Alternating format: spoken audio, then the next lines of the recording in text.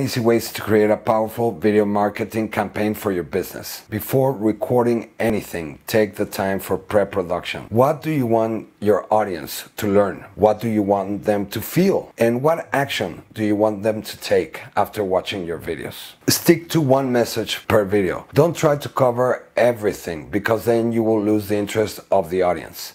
It is very important to focus on one thing and one thing only. That way you can actually share some valuable content to the people who is looking for that solution. Use a script, but don't read a script. Take some notes and then allow your knowledge to take over.